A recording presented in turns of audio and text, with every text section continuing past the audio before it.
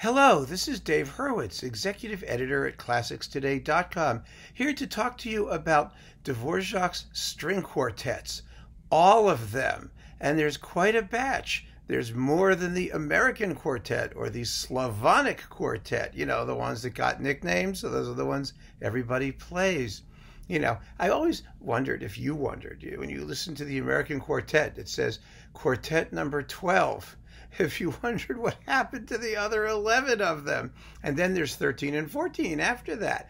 14 string quartets in total, plus miscellaneous works for string quartet.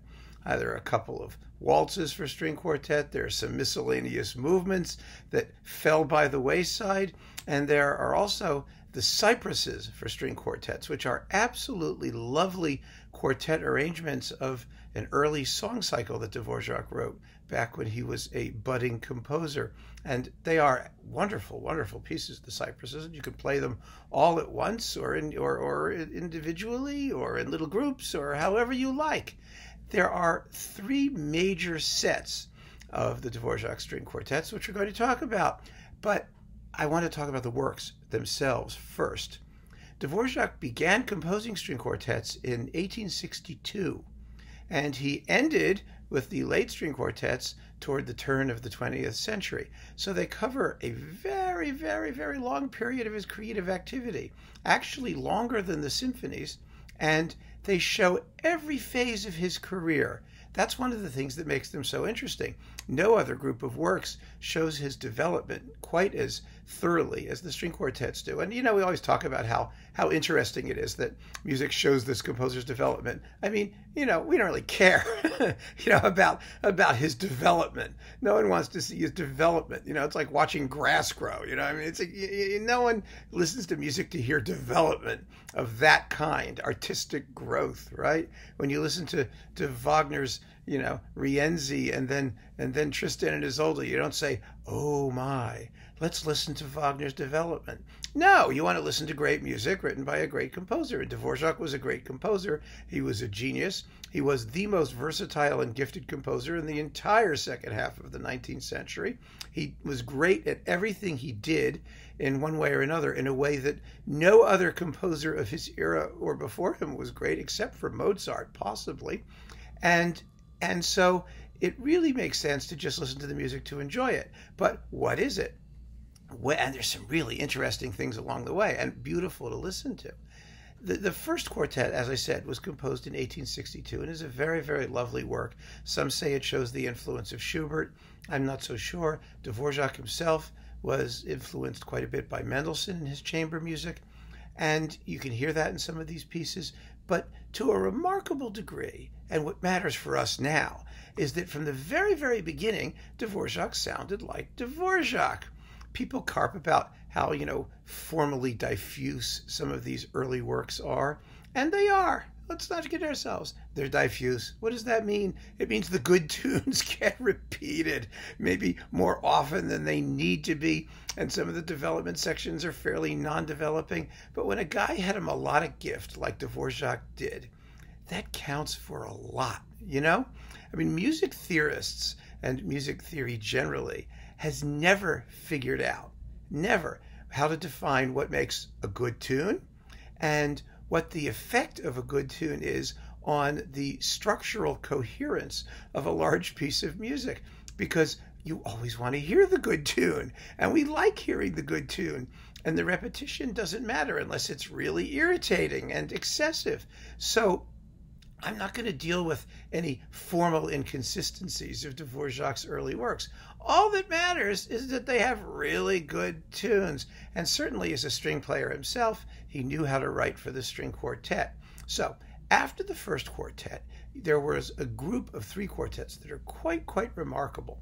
The, the second quartet is, is a, an ambitious piece already, but these, these early grouping of three quartets, this early group, shows the influence of Liszt and Wagner in Dvorak's growth, and it does so in a wonderful way because you know one of the rules of these things are if you're going to if you're going to follow your models or imitate them, do it better than they did. And Dvorak was usually pretty good at that. You know, he was usually able to take a model and say, "See, I can do this just as well as you can, if not better." And I think some of that happens in these early quartets. The third quartet is unbelievable. The third quartet, if you play it absolutely complete with repeats and everything else, lasts about 70 minutes.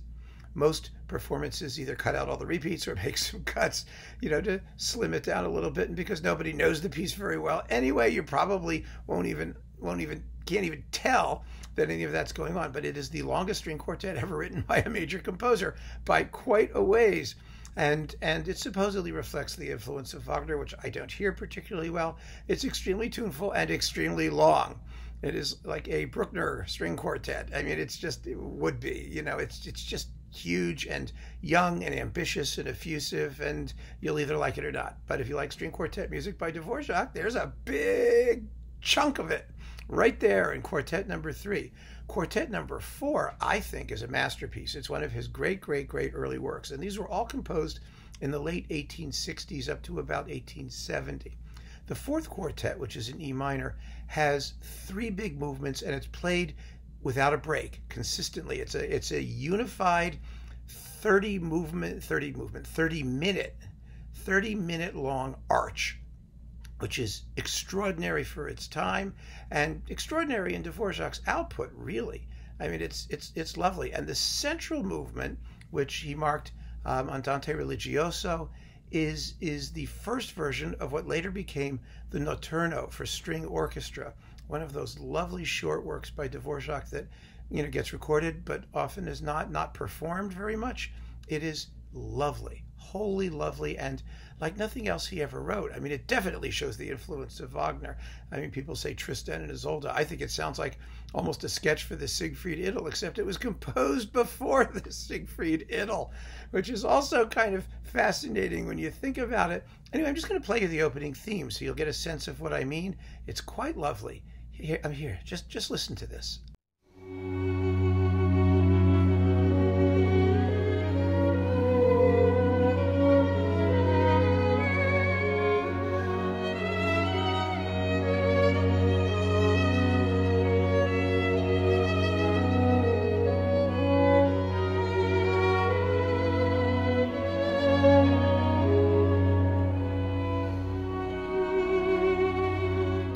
Isn't it? Really, and totally not like the Dvorak we're usually used to. It has its own character, and I mean, I think it just sounds sort of like the Siegfried Idyll meets Rachmaninoff or something like that. It's really kind of amazing. It's an extremely beautiful example of a style that Dvorak eventually abandoned. And in fact, right after the fourth quartet, he begins to turn more towards the exploitation of classical forms and that sort of classicism that overtook him in the 1870s as he also wrote you know the first batch of major symphonies. He was submitting them to win the austrian state prize and he wrote the third then the fourth then the fifth. And we see you know the dvorakian version of what you might call brahmsian classicism romantic classicist music um, evolving. And this evolution takes place also in the string quartets in the fifth and the sixth now, the sixth is uh, it's in A minor, and it was a piece that Dvorak was in the process of revising. It originally was also in a single movement, but then he broke it up into four individual movements, but he never completed the revision process. So the actual work in its final form has had to be reconstructed. But after the sixth, we are effectively in mature Dvorak, starting with the seventh quartet. The eighth is an extremely lovely work, which no one ever performs. And I'm going to play you a bit of the finale. And as you'll be able to hear, it's already it's already the Dvorak we know and love. There's no question that nobody but Dvorak could have written this music. Listen to this.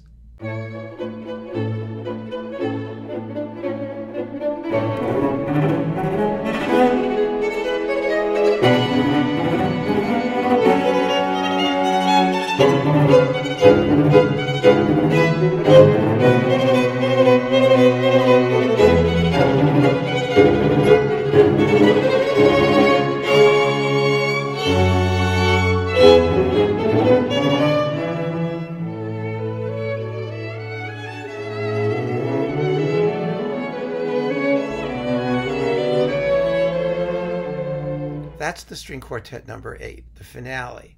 And so, you know, there, there's it's Dvorak. It's Dvorak, plain and simple, right? Now, with the ninth quartet in D minor, we have this is the quartet Dvorak uh, dedicated dedicated to Brahms. Brahms accepted the dedication while telling Dvorak at the same time to be careful and to clean up his voice leading and part writing because he was a little careless, which Dvorak always was and which Brahms never was. But it established the friendship between the two men to a certain degree, or the budding friendship between the two men, and it's it's it's an absolutely lovely work. Lovely work. The tenth quartet is the Slavonic, and it has Dvorak's first dumka.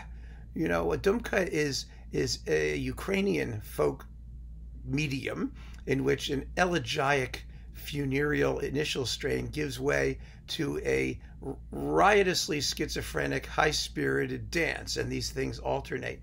And the 10th has the nickname the Slavonic, probably because of the Dumka, and it's, it's quite beautiful. The 11th quartet, no one ever plays. It's in C major and it's gorgeous. It, it can rightly be described as Dvorak's you know, homage to Schubert because it was written for Vienna. It does not have those Slavonic elements in it, but the melodies themselves, when you listen to them, I mean, they're recognizably Dvorak, just as, you know, the New World Symphony, which is supposed to have African American and, and, Native American melodies, is recognizably Dvorak, no matter what. And so is the 11th Quartet. It's a big, beefy, exciting, gorgeously written work that was, you know, written for Vienna. And maybe that's one of the reasons it doesn't have all of those Slavonic elements in it and I'm not I'm not sure why it's it's so regularly neglected. Probably because it doesn't have those Slavonic elements in it, you know, or some nickname. But it's a great piece. The twelfth is the American. The American has one of Dvorak's great, great train tunes, and that's the finale you know, Dvorak wrote it in like three minutes in Spillville, Iowa, when, you know, during his summer vacation, and you can hear the train taking him to Iowa in the finale. You know, it goes cha cha cha cha cha cha cha cha cha cha cha cha cha cha cha cha cha da da da da da da da da da. You know, it's it's wonderful. And I'm not going to play an example because you know it, and you probably have 30 recordings of it in your collection already. And if you don't, you should. It's a great, great, great piece. And it really marks an, another stage in Dvorak's growth because it involves his exploitation of melody and texture. You know, pentatonic tunes and fascinating textures. You know, the opening is a viola solo. It's got lots of trills and pizzicati, and, and it's colorful music. And Czech quartets tend to be. It's kind of interesting. You know, if you think of the Smetana quartets or the Janacek quartets, they, they all exploit interesting string textures and timbres, as well as just the normal quartet kind of, you know, contrapuntal melodic writing that everybody expects in quartets. Even the Kalliwoda quartets, which I talked about in another video, those are, uh, you know, they, they have fabulous, fabulous textural elements, and Dvorak exploited that too. But then after the 12th, there were two more quartets, his late quartets that he wrote really towards the end of his life, and he had when he no longer had anything to prove to anybody. And those they're like the late Beethoven quartets, although they're all in the traditional four movements, but in the sense that the style is just a sort of purified, musically elevated conception of what what Dvorak thought music should be. And they are masterpieces. Everybody says that says so. They're universally acclaimed, although again, not played all that often. And they really deserve to be better known. They're, they're gorgeous works. The Czech quartets all record them. And with that, we come to the end of this very brief little survey of the Dvorak quartets. But now we talk about recordings. There are only three complete sets that we need to worry about. All of them are good. Some of them are more recommendable than others, in my view. The first was this set, which is now on Brilliant Classics from the Stamitz Quartet. It was originally on Bayer, I believe, was the label, and the Stamitz Quartet did a whole series of all the major Czech quartets. They did Janacek, Martinu, Smetana, and Dvorak, and all of those are in this box, which I have no idea if it's still available or not, or if you can still find it. At last we saw, it was on Brilliant Classics. I find this to be the least appealing of the three sets that we're talking about, if only because the Stamitz Quartet has sort of a, I don't know how to describe it, sort of a rough, a rough texture or timbre to their sound, um, a gritty sound that I think, eh, you know, in, in huge doses can start to turn a bit monotonous, and they're a little bit heavy-handed. So, so I, I, you know, they're not bad. There's nothing bad there, but it's not my favorite set of Dvorak quartets. The standard reference version for many, many, many, many years was this one with the Prague String Quartet. Now, I saw them. I saw them at Berkeley when I was a graduate student at Stanford, and they came and they did the American Quartet and the last two Dvorak quartets, along with the Janacek quartets and a Smetana quartet. It was quite a tour in two concerts, and they were wonderful players. And this Deutsche Grammophon Dvorak box has been sort of a classic from day one because it contains all of the quartets in in very carefully, seriously produced versions. Some have complained that their style shows a certain rhythmic stiffness, which it kind of does. And I kind of noticed this seeing them live because you know you look at them and this was you know during the heydays of communism and you know they look pretty grim. You know you remember you would see these um, artists come from you know Eastern Europe, and sometimes they didn't look like they were very happy. And they when they played music, they had this serious scowl on their faces the entire time, you know. And I think there's probably more joy in this music than the Prague Quartet conveys. Um, but they were they were very good. They knew the music, and there was no alternative for the longest time. I mean, for decades, that was the set you had to get. And it was the set we learned the Dvorak quartets from.